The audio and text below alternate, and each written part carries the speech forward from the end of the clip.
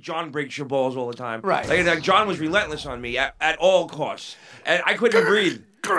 And uh, so now when he left that apartment on 65th Street, the infamous apartment, Yeah. he left it a fucking shithole mess. Like- yeah, like, listen, he, John- he, he nailed dirty underwear to the fucking wall. I they would would nail, nail from the- the- his nails. His, the, the, fuck- he, he John, his John, nails. John lived so disgusting. I would say to John as a joke. John was half Puerto Rican, half Danish. I'd say, did you get any of the Danish? yeah, no, no. Any of the fucking Danish? No, so- his, his fucking car so smelled now- like a piss hole. Oh, it was disgusting. So I, I'm cleaning the apartment, and I go behind the toilet to clean it, and all of a sudden I pick up it's a, it's a prescription bottle. Right. John Melendez.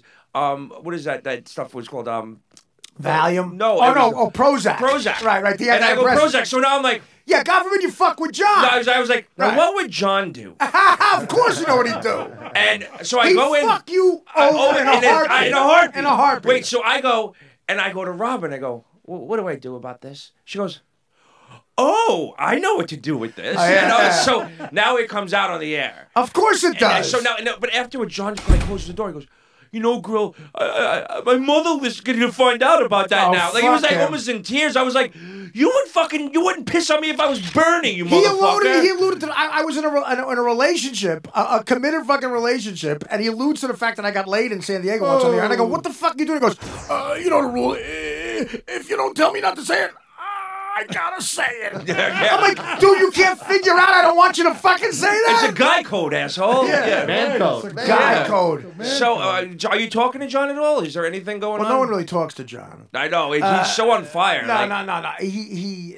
J- John, listen. John again is my brother. We went through a lot of crazy shit together. I and I did him a big solid, bro. He fucking came to me. He got that job on Leno. I'm the only one he confided in. Mm-hmm. Uh, yeah, people confided in me on that show. I'm like, how did I become the Judd Hirsch on taxi? You were I'm, the go-to I'm- guy. I'm the most out of control motherfucker there is. So John says, uh, I'm getting a job on the fucking Jay Leno show. And I'm, like, uh, dude, he tells me this four months before. I go, you have to tell Howard this right now, dude. He goes, he'll fuck up the deal. I'm like, no, he's not. Him and, first of all, Leno, I, you know, I had dinner with Jay Leno about three about uh, six years ago. He saw, he, he was playing the big room at the Borgata. I was in the other room. I get off stage and my road manager says to me, Leno's in the other room. He wants to have dinner with you. So he bought me and my uncle and my girlfriend at the time dinner. The nicest guy. And I go, "Wh- wh- what happened? And he goes, well, you know, I wanted to tell Howard, you know, listen to me. You know, you pay the guy 80 grand a year, give him 300 grand a year. I thought he wouldn't care. But, you know, I, Leno was nice and everything, but it was up to Leno to call Howard and go, listen, I want one of your guys. Like, I want one of your major guys to come do this. And first of all, you know, again, John, and John got mad at this analogy.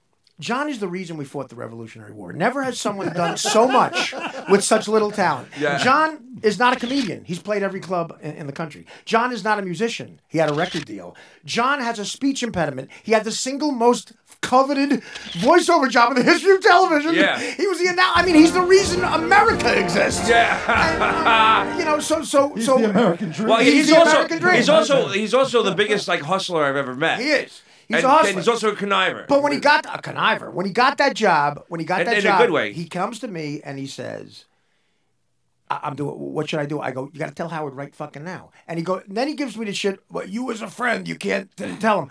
So look, I'm a good friend, but I was also Howard's friend. I'm like, you put me in a shitty position, but if you want me not to tell him as a friend, I won't. And I knew it was gonna fucking happen. We go to Atla- we go to Atlantic City again. Howard being so generous got us all rooms at the Borgata uh, for Valentine's Day 2004. John John Howard he call, uh, he's about to quit two days later. He calls Howard. Howard calls my room. I'm with Dana. He's with Beth. And Howard's like, "Did you know about this? Howard's going to uh, John's going to. I'm like, "Howard, he told me blah blah blah."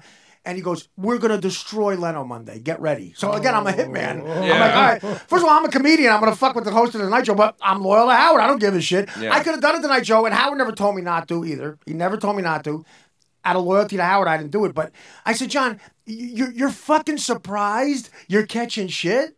You know, you just ruined Leno's life for four years because Yeah. every morning it was an hour of how Leno sucks. John did shit I couldn't. I'm like, what show have you been on, bro, for the last fucking uh, 20 years? You know, you know what's gonna happen.